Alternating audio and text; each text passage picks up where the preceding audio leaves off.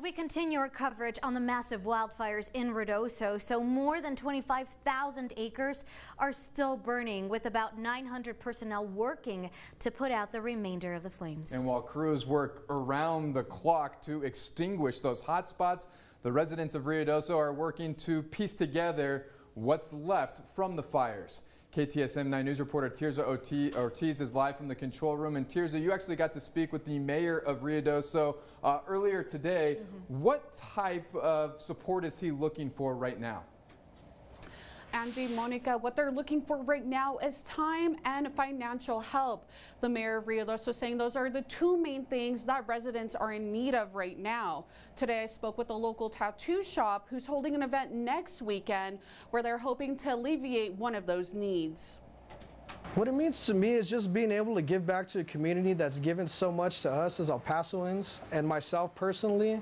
El Pasoans continue to use their platforms to provide relief to the people of Ruidoso. The owner of Mesa Street Tattoo, Mark Perez, will be hosting a fundraiser on July 6, where artists and piercers will be using their skills to raise funds for the village. So what we're going to be doing is we're going to have $100 tattoos, and we're going to be having $30 piercings from 10 o'clock until 8 o'clock. 100% of the proceeds will go to the Community Foundation of Lincoln County Shelter Fund. Bata saying they want to get in as many people as possible while still giving top of the line service. Black ink only, as is for the tattoos, and then a lot of them are going to be New Mexico related.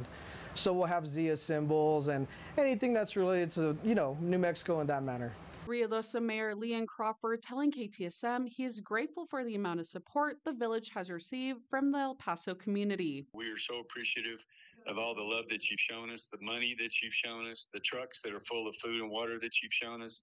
There's no way for us to repay you except for to get open and try to make this community as beautiful as it once was so you can enjoy it once again. That is hoping his fundraiser and contribution will go a long way. I'm hoping that everyone can just come out and show their support. We're going to have a couple of food trucks. We're going to have plenty of tattoos, plenty of piercings going on.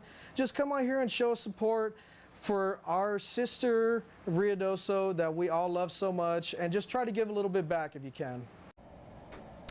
And Andy and Monica, if tattoos and needles are not for you, but you would still like to contribute, Betta says the shop is taking straight donations, no ink and no pain required. For now, live in the control room, Tirza Ortiz, KTSM 9 News, back to you.